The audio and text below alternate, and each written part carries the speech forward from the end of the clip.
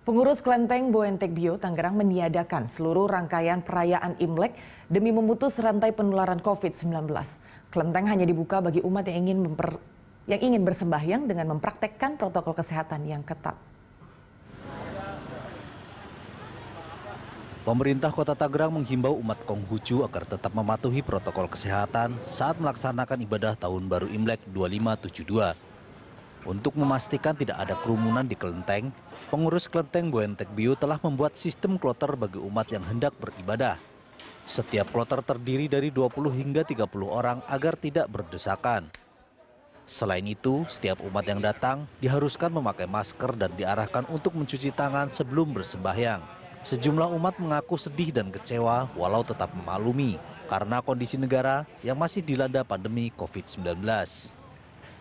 Menurut saya sih ya emang harus ngikutin protokol kesehatan sih. Sebenarnya kan wihara ini juga nggak ditutup ya, masih dibuka. Cuma emang ada protokol kesehatan uh, yang harus dipatuhi, yang ngikutin pemerintah juga.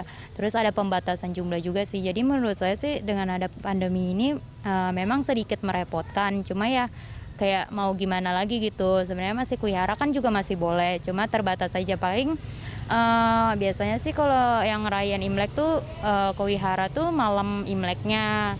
Nah itu paling pinter-pinter aja tuh cari waktu kayak sore-sore sebelum uh, ramenya tuh biasanya kan malam. Ya sore-sore tuh sembayangnya gitu. Biar maksudnya tuh kayaknya uh, gantian gitu. Karena ini kan terbatas juga. Ya sedih sih. Lebih gak bisa uh, mengapresiasikan kita secara keluarga bareng-bareng untuk berdoa gitu kan apalagi pas uh, pandemi covid ini kan jadi dibatasin. Kita juga kadang agak kesulitan sih kudu antri beberapa orang. Terus uh, harus menunggu antrian yang cukup lama nanti baru digilir lagi. Kumpul-kumpul bareng keluarga sih tetap ya. Tapi paling uh, enggak se ya enggak seramai kayak tahun lalu lah pastinya. Tapi kalau kumpul uh, saya rasa tetap sih kumpul untuk menjaga silaturahmi aja sih.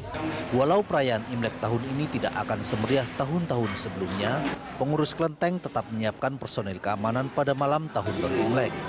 Personil TNI dan Polri juga dikerahkan untuk membantu menjaga keamanan di sekitar kelenteng. Personil dari TNI Polri juga akan dikerahkan untuk memastikan tidak ada kerumunan, terutama pada jam-jam rawan di malam tahun baru Imlek. Cinta Zanidia, Nova Maulana, Kita Satu, Tangerang, Banten.